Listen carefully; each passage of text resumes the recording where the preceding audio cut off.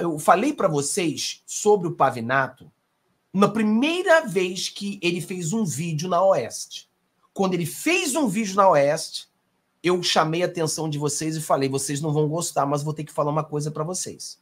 E aí eu disse a vocês como a Jovem Pan acabou. A Jovem Pan acabou quando eles começaram a substituir os direita raiz para esses direita limpinhos, né? E o Pavinato foi um deles. O começo do fim da Jovem Pan foi quando o Pavinato entrou. Porque ele era uma direita permitida. O Pavinato, ele começa a se lascar. Porque toda verdade começa a ser dita, todo mundo começa a mostrar as verdades, todo mundo começa a mostrar quem Pavinato é. Então as coisas começaram a ficar difíceis para ele. Então eu falei para você a diferença do perdão e do remorso, né? O, o, remorso é quando a pessoa ela, ela vê que terá consequências ruins. Então ele não está arrependido. Ele não se arrependeu. É arrependimento e remorso seria a palavra melhor, né? De vez em quando o português me foge. Quando a pessoa está arrependida, você se arrepende porque você sabe que você cometeu um erro. Então você se arrepende, é algo que vem de dentro para fora. E o seu arrependimento está entre você e Deus. Você busca o arrependimento. O remorso é quando a pessoa sabe que ele vai se ferrar. Então eu vou ter que criar alguma coisa, porque se eu não criar alguma coisa, eu estou ferrado. Então, para que eu não me ferre, eu vou ter que pedir desculpa.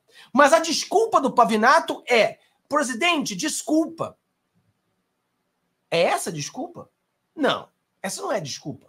Você tem que explicar, Pavinato, para toda a população brasileira por que, que você queria a prisão do presidente Bolsonaro. E fala assim: presidente Bolsonaro, eu lutei para que o senhor fosse preso. E era uma prisão de cinco anos. Porque eu fiz isso, isso, isso, isso, isso, isso, isso, isso, e agora eu entendo quanto errado eu estava por causa disso, disso, disso, disso, disso, disso, disso, disso, disso, disso, disso e eu quero pedir perdão ao senhor. Presidente, eu lutei para o seu impeachment. Eu fui uma das pessoas que começou o processo de impeachment contra o senhor. Então agora eu quero pedir perdão por causa disso, disso, disso, disso, disso, porque eu pensava assim, assim, assim, assim, agora assim, assim, assim. Então você entende que isso é uma pessoa que encontrou o perdão. Entendeu? Mas, ó, desculpa. Oh, desculpa pelo quê? Você não vai confessar os seus erros? É só falar desculpa? E acabou? E agora o povo que te assiste já acha que você volta a ser a direita? Quer dizer, a direita é uma blusa que você coloca e tira? É isso? Meu amigo, não me convenceu. Mas o trabalho para convencer as pessoas foi sensacional. Eu tenho que aplaudir.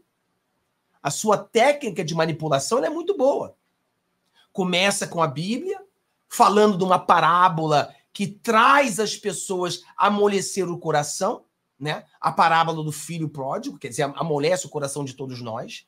Né, o filho que saiu, fez um montão de cagada, voltou, e o pai teve uma festa, porque o filho que estava perdido voltou. Então ele é o perdido que voltou. Olha, indo no consciência das pessoas, enganando o trouxa. Aí depois ele faz esse show perdão Bolsonaro. E o Bolsonaro nem sabia exatamente que ele estava entrando nessa situação. O próprio, o próprio o filho do Bolsonaro, ele botou um comentário, né, durante a live. Olha aí. Olha o Carlos Bolsonaro comentando. Nem te conto quem é. O cara está cercado e amordaçado. Quem vê cara não vê coração. E os espertos sabem disso. Então você vê que, que tudo foi premeditado, nada foi genuíno, nada foi real. É tudo um show para enganar as pessoas. Fábio, então você está dizendo que é impossível de que ele é, busque perdão? Não, não estou dizendo isso. Estou dizendo que ele não me convenceu. Se ele realmente mudou e agora é um conservador, agora é uma pessoa de direita, ele precisa convencer o povo. Porque a maioria das pessoas, como eu, não estão convencidas. Quem é que está aqui e você fala assim, Fábio, a mim não me convenceu. Se você não está convencido de que ele realmente é, é, é, é, mudou, que ele agora é de direita, é conservador. Não, Fábio, na minha opinião, não mudou nada. Coloca um. Agora você fala, Fábio, eu me convenceu. Eu acho que ele mudou. Ele é uma pessoa diferente. Eu vou dizer para você, tem gente que se Lula falar que ele mudou, vai acreditar que Lula mudou. Tem gente que tem um coração muito macio, né? Ele acredita em tudo. Então, um, você acha que ele não mudou, não te convenceu ainda. Dois, você acha, não, me convenceu, ele agora provou para mim que ele é uma pessoa diferente, realmente está na direita. Vai no comentário e coloca aí. Né? E agora vamos aqui, porque quem fez um vídeo agora, a gente vai entrar na treta, interessante, foi meu querido amigo Olímpio, né? Não vou botar o vídeo todo, depois assista ao canal dele lá, um canal sensacional, mas eu vou botar alguns pedaços aqui para você assistir. Vamos lá, Olímpio, ó. Tudo ali, né? E aí a gente começa a descobrir essas coisas, olha. Advogado fundador do MBL declara voto em Lula em 2022. Mat... Pavinato declarou voto a Lula em 2022. Aí eu pergunto para você. Vamos lá. Vou perguntar uma coisa para você. Quem é que conhece uma pessoa que votou no Lula? Bota eu. Quem conhece uma pessoa que votou no Lula? Hã? Quem é que já votou no Lula? Você conhece alguém que votou no Lula? Bota eu. Fábio, eu conheço alguém que votou no Lula. Eu. Eu acho que todos nós conhecemos alguém que votou no Lula, né?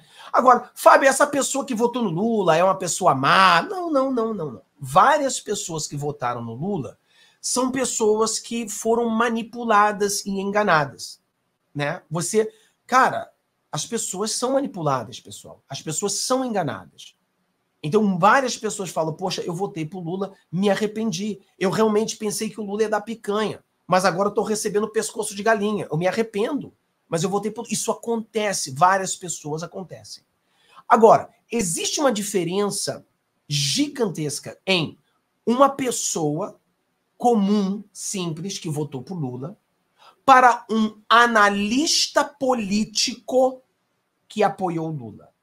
Para uma pessoa que está na política, uma pessoa que estuda política, uma pessoa que ensina política. Então, por exemplo, você está no canal da Oeste assistindo o Pavinato. O Pavinato está ensinando sobre política.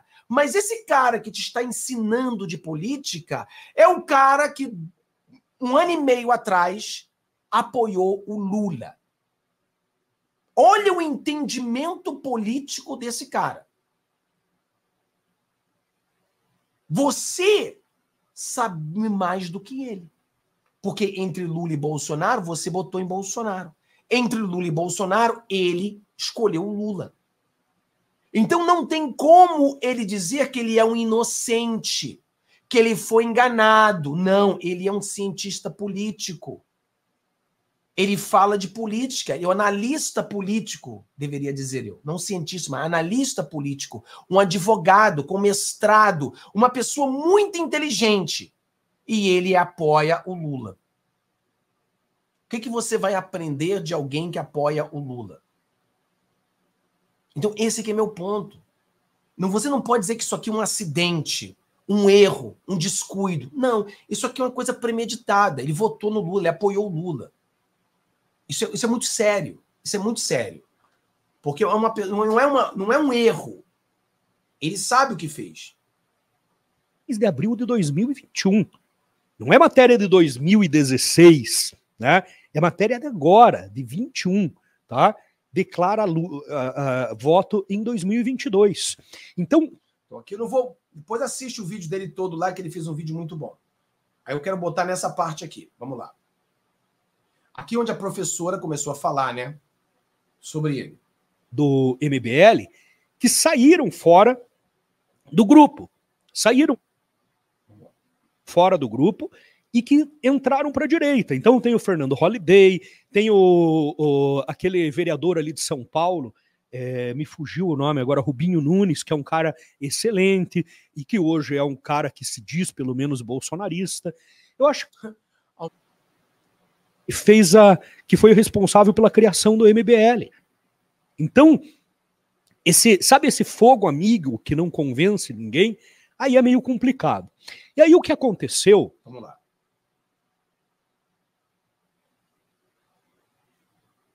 O ter desafio Pois Olha bem, só. meus amigos, o senhor professor doutor Pavinato está dando duplo twist anal na internet por causa do último vídeo que eu postei aqui no canal, fazendo alguns questionamentos sobre posicionamentos que ele demonstrou na internet, posicionamentos na rede social. Pois bem, mas ele ficou tão nervoso, mas tão nervoso que me chamou até de professora da.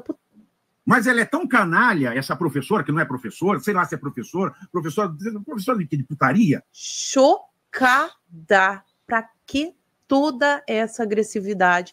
Para que todo esse ressentimento, esse ódio no seu coraçãozinho, senhor professor, doutor Pavinato? Não faça isso. Isso faz então, tá aqui, né? Eu não vou mostrar o vídeo inteiro, é só um trechinho para vocês entenderem de onde surgiu essa treta. Só que muita gente começou a comprar também a treta, né?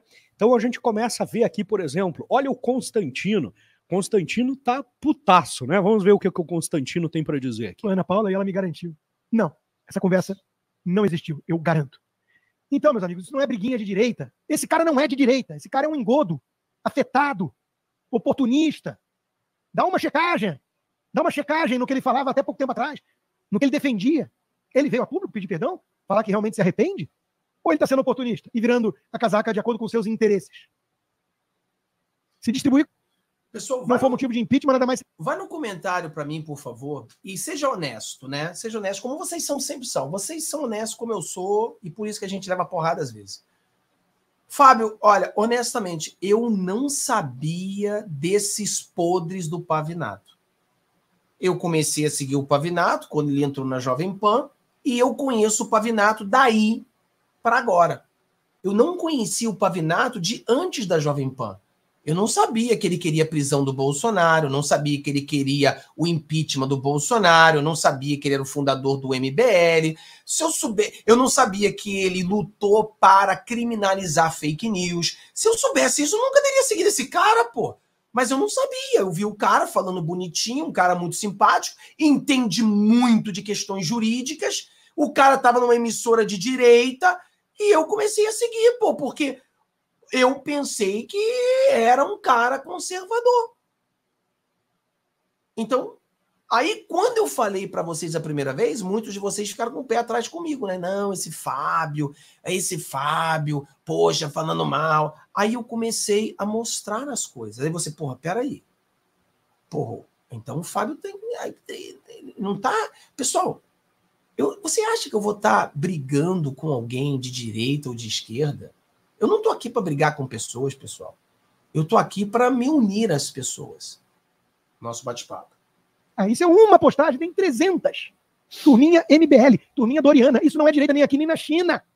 Nós temos que separar esse joio do trigo, pensando no movimento conservador lá na frente. Uma figura dessas, afetada, oportunista e mentirosa, mentirosa de forma compulsiva, mente que nem sente. Eu fugi para os Estados Unidos do Xandão, 10 anos de América, Ana Paula falou comigo e garantiu, nunca falou com ele na vida. Sujeito desse a gente quer como porta-voz da direita só porque está atacando o Alexandre de Moraes? Sem consequências, da forma que ele faz. Pessoal, aqui eu tenho que eu tenho que dar uma bronca a algumas pessoas aí. Eu vejo que muitas pessoas elas confundem as duas coisas. A, a preferência sexual do Pavinato não tem nada que ver com essa história. Então, estou vendo uns comentários aí bem ridículos, até mesmo homofóbicos, que não são tolerados na direita. A direita não é assim. O conservador não é assim. O conservador ele respeita a decisão de cada pessoa. Então, estou vendo vários, vários comentários aí que são comentários totalmente fora de, de qualquer contexto que a gente está colocando aqui a preferência sexual dele nunca entrou em, em, em, debate. O cara, ele faz o que ele quiser da vida dele. Não tem nada que ver uma coisa com a outra. As pessoas têm que ter a capacidade intelectual para saber o que nós estamos falando. Entendeu? Não tem nada que ver uma coisa com a outra. O Pavinato, nós estamos questionando o Pavinato pela sua ideologia política se o cara é gay ou não, não tem nada que ver uma coisa com a outra. Nada que ver. Sequências. Estranho, né?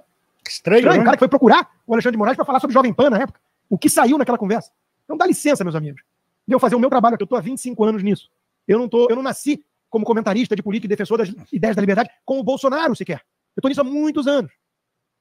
É, e eu, eu confirmo, né, que o Rodrigo Constantino, por exemplo, eu tenho os livros do Rodrigo Constantino aqui, e ele é um cara que está lutando pela direita. Ele foi nos primeiros youtubers do Brasil ah, a, a- a tratar sobre esse tema e lutar pela direita, acho que antes ainda do impeachment da Dilma. Isso, ele, o Paulo Martins, aqui de Curitiba, são os precursores de todo esse movimento no Brasil.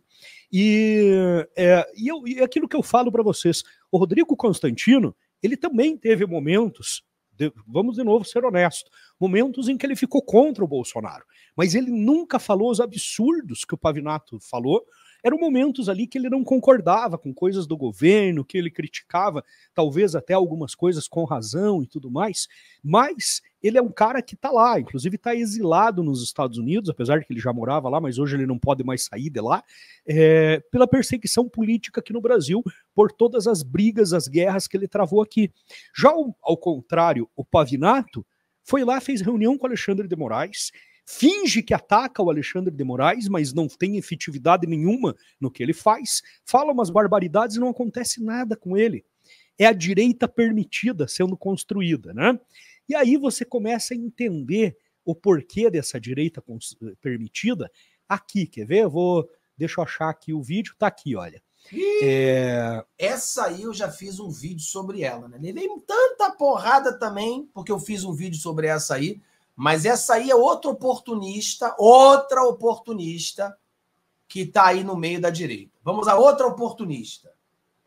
Antônia Fontenelle falando aqui do Pavinato e meio que lançando Alguém falou assim, por exemplo, eu sou 100% pavinado. Você tem todo o direito de ser. Todo o direito. Entendeu? Mas saiba quem ele é. Não se surpreenda depois pensando que ele é um conservador, tá? Entendeu? Então é isso que tem que ser feito. Vamos lá. ato como candidato em 2026. Candidato a presidente, tá? profissionais. Eles não brincam em serviço. Prova disso é que o Brasil apostou em um cara que estava muito cansado, o povo brasileiro muito cansado de tanto se fuder, apostou todas as suas moedas, as suas últimas fichas em um cara que não tinha educação, que não tinha estudo, que não tinha cultura para enfrentar o sistema. Olha só, ela tá falando que o Bolsonaro não tinha educação e não tinha cultura. O Bolsonaro, tudo bem, ele é formado em educação física na universidade, é, o que politicamente não agrega muito, né? Eu acho uma faculdade excelente, mas para quem vai trabalhar profissionalmente com isso. Mas ele também é formado na Academia das Agulhas Negras. Cara, o cara para entrar é, na academia que o Bolsonaro fez parte, que ele se transformou, que ele se Rapaz, alguém falou aqui, né? A direita perdendo todas e a esquerda comendo pescoço de galinha. Né? O cara pensou que ia comer picanha, tá comendo pescoço de galinha e ainda tá feliz. É foda. Cara, a mulher tem coragem de dizer que o Bolsonaro não tem cultura. O cara formado nas agulhas negras. Imagina se ela tentasse se formar nas agulhas negras. É que eu tô falando, cara. Tudo bem que a pessoa pode criticar. Pessoal, eu sempre falo para você. Você pode criticar, mas as críticas têm que ser pontuais. Ela ali não tá te criticando, ela tá atacando o Bolsonaro. Tá dizendo que Bolsonaro é um jumento, que Bolsonaro não tem cultura. E o pior de tudo é que ela mente, né? Porque são ataques mentirosos, denegrindo a imagem de alguém. Porque como é que você vai chamar alguém que não tem cultura, alguém que se formou nas agulhas negras? Sério? Porra, então tô fudido eu, então. Porra, então tá todo mundo aqui fudido, então. É só ela que tem cultura. Ela foi formada onde? Alguém sabe aonde ela foi formada? O que ela foi formada? Entendeu? Que ela foi formada onde? Alguém falou, Fábio, o que você diz do Pitoli? Eu acho que o Pitoli ficou grande. Pessoal, a grandeza ou a pequenez de uma pessoa, ela se define em suas reações. O Pitoli agiu de forma errada, mas a reação dele o, de, o fez grande, porque ele admitiu seu erro E ele buscou o perdão, buscou a verdade. E nós, eu, cara, eu saí ali gostando do Pitoli mais do que eu gostava. Já o Pavinato, ele fez uma manipulação para continuar enganando as pessoas. Essa é a diferença. E virou um oficial do, do, do, das Forças Armadas, o cara tem que ser gênio. O cara tem que ser gênio. Eu acompanho as entrevistas do, do Bolsonaro desde, cara, desde, sei lá, quando ele era deputado ainda. Tem entrevistas, tem uma entrevista do Bolsonaro com o filho da Miriam Leitão, que o Bolsonaro dá uma aula dá uma aula de história e de política para o filho da Miriam Leitão, que ele destrói o filho da Miriam, Miriam Leitão. Então, é que a maior parte. Agora, destruir fi, o filho da Mira Leitão não quer dizer também que você tem a cultura, né? Tempo. O Bolsonaro tá ali falando com o povo, amenidades, contando piada de tiozão, fazendo aquela coisa. E aí a galera pega só esses cortes. Ninguém vai lá e faz uma entrevista séria com o Bolsonaro, é, puxando os assuntos realmente. Quando fazem isso, ele dá show. Eu assisti nos últimos anos. Concordo com o Gabriel. Fábio, quando se arrepende, vê que está errado, pede desculpas como o Deltan. Concordo contigo, Gabriel. Gostei desse, dessa colocação. Muito bem colocado todas as entrevistas do Bolsonaro. E eu virei fã completo dele, porque o cara é genial na política. E todo mundo que, que é, tá do lado dele, que acompanha ele e que vive ali politicamente com ele, diz a mesma coisa. O Bolsonaro tem uma percepção política, tem uma compreensão de mundo assim, fora do comum. Não tem como comparar, por exemplo, o Bolsonaro com o animal do Lula, com o jumento do Lula, que é um ignorante completo e que nem se interessa em aprender nada ou entender alguma coisa. Então, é, e aí ela vem aqui falar que o Bolsonaro é, não tem educação e não tem cultura. Tudo que ele carregava e carrega no seu bolso é um grande coração e a vontade de mudar o país. Mas não adianta só ter um grande coração e a vontade de mudar o país. Claro que Por mais que ele tenha ficado 25 claro anos no Congresso. Eu estou falando de Bolsonaro. Não adianta, gente. Não adianta. Adianta. A pessoa pode ser inteligente, mas se ela não tiver cultura suficiente para lidar com as aves de rapina, ela vai nadar, nadar e vai morrer na praia. E lá Antônia Fontenelle não precisa ter cultura para lidar com as aves de rapina, precisa ter coragem, precisa ter culhões, como o Bolsonaro teve. O Bolsonaro conseguiu né, fazer isso no governo dele, deixando todo o establishment de fora, e foi por isso que derrubaram ele. Só por isso. Ele foi o único cara com coragem. Eu sempre falei nos meus vídeos aqui: não existe outro político no Brasil que tenha os culhões e que tenha a coragem do Bolsonaro para fazer o que ele fez enquanto presidente da República. Nenhum. Você acha que um pavinato da vida ia ter é, é, coragem para fazer as coisas que o Bolsonaro fez, cara? Para enfrentar o sistema do jeito que o Bolsonaro enfrentou? E lá, daqui a pouquinho eu vou falar onde é que está esse cara chamado Pavinato, que poucos conhecem. Tá? Enfim, o vice-presidente, o Narigudo, que já foi governador de São Paulo, em conversa, falou o Bolsonaro é desocupado, que o Bolsonaro não tem o que fazer. Por isso o Bolsonaro está aí para cima e para baixo, fazendo, é, é, falando com as pessoas que é um desocupado. Não, eu não vejo ele como um desocupado. É um cara que a vida inteira foi político. É um cara que só sabe fazer política. É, mas é, é isso que político tem que fazer, Antônia Fontenelle. Política! É política, né? Enfim, ela quer aqui falar então tá aqui, olha, o Space Liberdade colocou: urgente, Fontenelle acaba com o presidente Bolsonaro e diz que vai fazer campanha para Pavinato em 2026. Eu já vi outras pessoas aí falando também do lançamento aí de uma possível candidatura do Pavinato como presidente da República. É lógico que não tem a mínima chance. Não tem a mínima chance. Aí você tem os outros pratos, né? Também ele acaba com. Eu não vou, eu não vou botar todo o, o vídeo, né? Não vou botar todo o vídeo. Mas assista lá, o, o, o Limpo é um cara sensacional, é um cara que faz um ótimo trabalho e nós temos que abraçar a direita com isso, tá? Mas nós, pessoal, é aquela. Fai, você tá entrando em fofoca. Isso não é fofoca, pessoal. Isso não é fofoca. Isso é política.